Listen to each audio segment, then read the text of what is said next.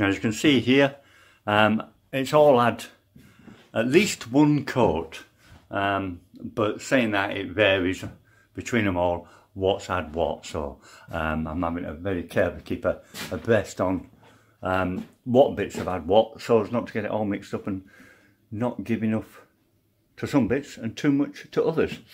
Now this piece here has had three coats and it's looking reasonably good. It'll get a rub over with um, the orbital sander and a very, very fine grit paper so it's just to take off any of that um, unevenness, but it's feeling quite smooth. Um, these middle and top horizontal pieces, um, this side has had two coats, the other side has had one coat. All the uprights, that's them ones there that are for the bottom, um, and these ones here, which are for the top, I've all had two coats on both sides because I can flip them. So they're waiting one more coat. Um, the skirting board and uh, feathering, in, feathering in pieces, that was a mouthful, um, they've had one coat. This piece, as you can see, is a skirting board box, front piece for it. Again, one coat it's had. The shelves, one coat on both sides. So they need two more coats on both sides in order to get it to where I want it to be. I'll get on now with um, sanding down this base, see what it feels like. If it's good enough, I'll leave it at that and then aim everything at that level. And that really, we've got to a finish at that point. What I've got to do then is um, do a dry assembly. That is, put it all together without any glue. Um, complete lent against the wall or something so that it won't stack fall over. Um, but just make sure that everything is fitting and working before I go on site because say the, the centre shelves are slightly out, which is a possibility. There could be a couple of mil out when it's all assembled. If it, that was the case, then I can chop all of them accurately here, done. On site, I either bring them back or I try and do it with the tools I carry with me.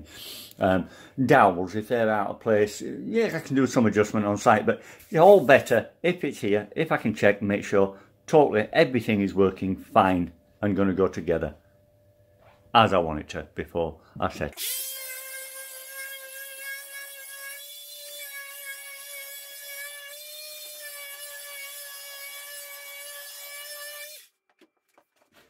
No, I'm not giving that anymore. That is lovely. It feels nice and it looks the part. So that is what I'm aiming at.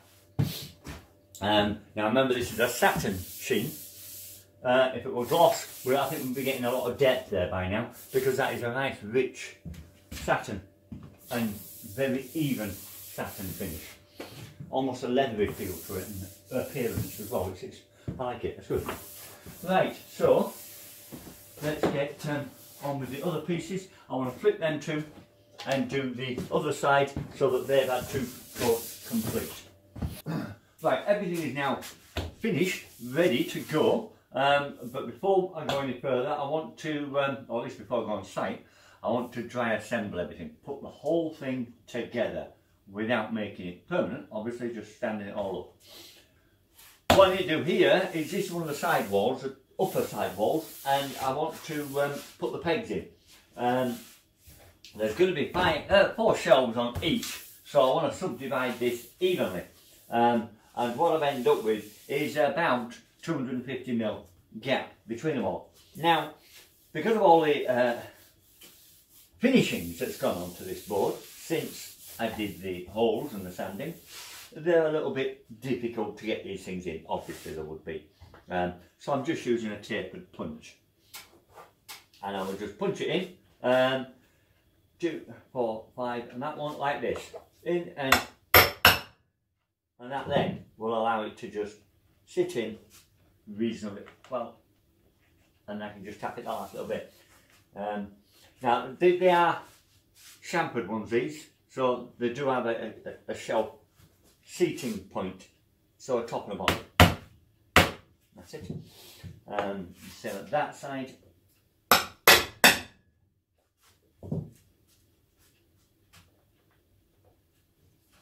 She's not making them loose,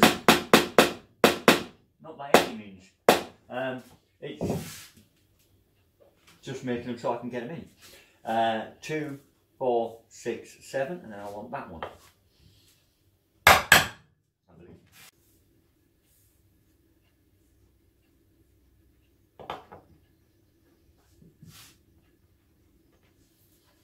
Two, four, six, seven. Is that one? Two, four, six, seven. Is that one?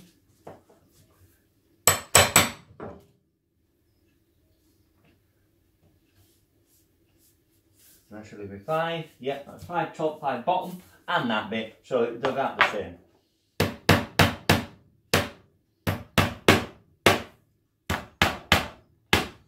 Now they can be adjusted, obviously the customer can adjust them all they want, um, moving them up and down 30 mil spaces that it has, uh, or yeah.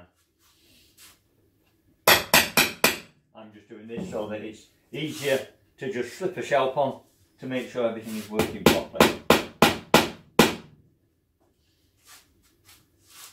I've already done the bottom upright. That was easy because they just have one shelf, which I bought exactly in the middle. But again, the customer might want big atlases or something on the bottom. So let's move it. Okay, that's that one. I'm going to turn it over and do the same again. Now, I've marked the top, so if you're going to do them erratically, all over the place, different heights for different books and all that sort of stuff, you've got to remember that they're all facing the top when you do that. This side again. Two, four, five. That one.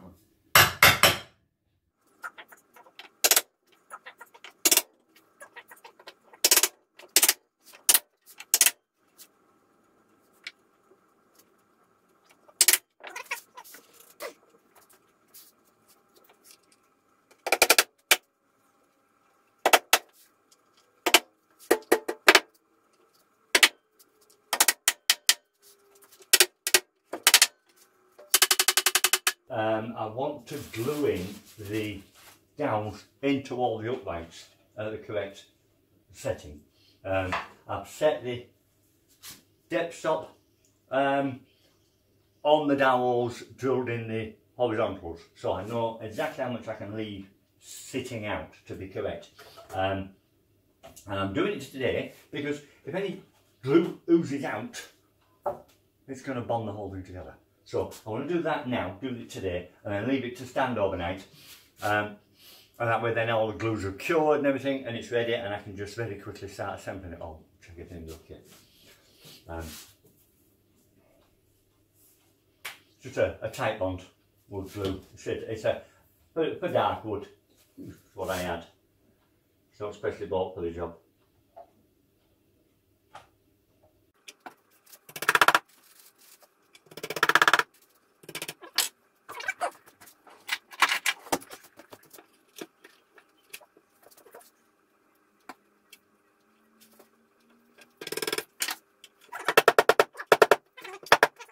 You'll get glue oozing out a bit um, and that just assures you that it's gluing itself in properly, which is what you want. Um, so there's no harm in that, it's just we want to make sure that it's all cured before we go assembling things tomorrow. Um, because we say, we just dry